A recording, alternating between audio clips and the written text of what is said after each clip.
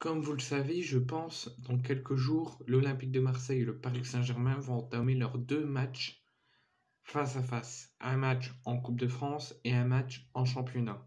Le match de championnat aura lieu vers la fin du mois de février et le match en Coupe, au Vélodrome sur les deux, aura lieu dans quelques jours, donc mercredi 8 février. Donc l'OM va d'abord affronter Nice au Vélodrome ce week-end en championnat et mercredi ils recevront le Paris Saint-Germain.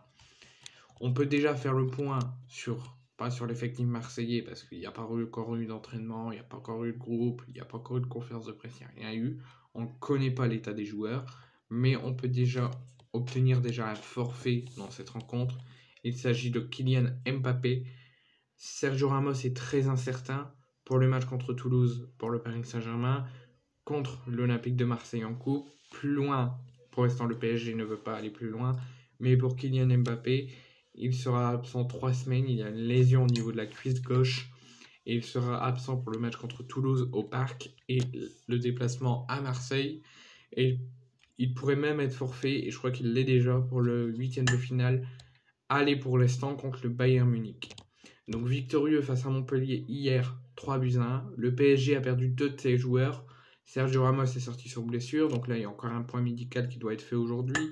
Il y aura sans doute la conférence de presse d'avant-match de Christophe Galtier, donc on en saura un petit peu plus.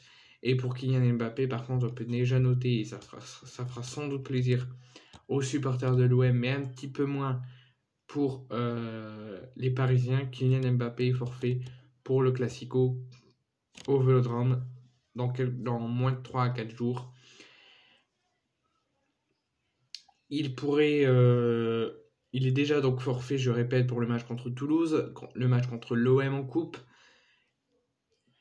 le match contre le Bayern euh, en Ligue des Champions le 14 février prochain, donc le match aller, le match retour, il ne savent pas encore, mais le match aller qui sera forfait, et pourrait potentiellement manquer aussi la rencontre, la deuxième rencontre de cette saison entre l'Olympique de Marseille et le Paris Saint-Germain. Donc en fait, il pourrait rater deux classicos plus le match contre le Bayern en Ligue des Champions.